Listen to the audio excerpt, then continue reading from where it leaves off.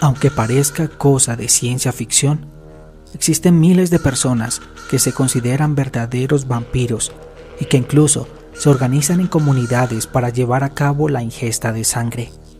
Hay además quienes donan su propia sangre para satisfacer los deseos de los primeros.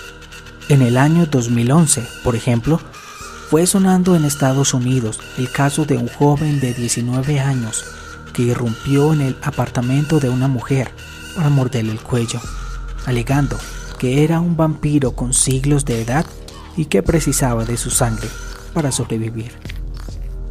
El investigador de la Universidad Estatal de Luisiana, John Browning, realizó un estudio etnográfico de la verdadera comunidad vampira de Nueva Orleans, cediendo su propia sangre a sus integrantes con el fin de conocer en profundidad cómo funcionaban estos grupos.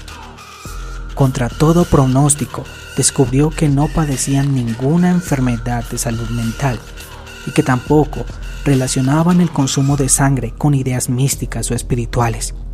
El motivo que solían alegar era que sufrían una patología médica caracterizada por la fatiga, dolores de cabeza y dolor de estómago, que, según creían, solo puede ser tratada bebiendo sangre humana. Y aunque Browning aseguró que ninguno de los vampiros a los que había entrevistado declaró haber sufrido alguna complicación médica derivada del consumo de sangre, lo cierto es que este puede llegar a ser altamente peligroso.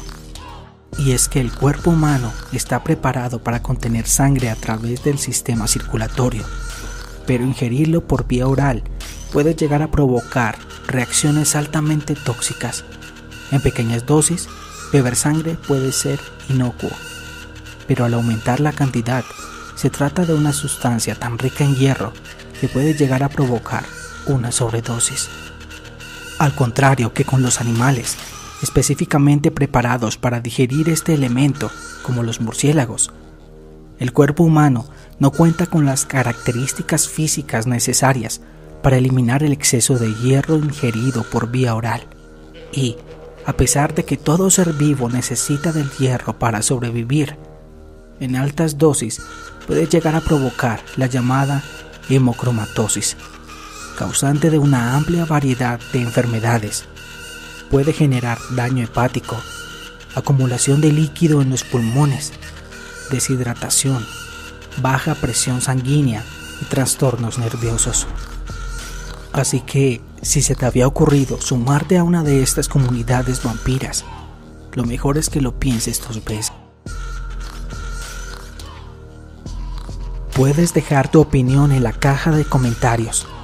Y si deseas un saludo, házmelo saber y saldrás en los próximos videos. También agradecería que te suscribieras y activaras la campanita. Sería de mucha ayuda. Subo contenido cada semana.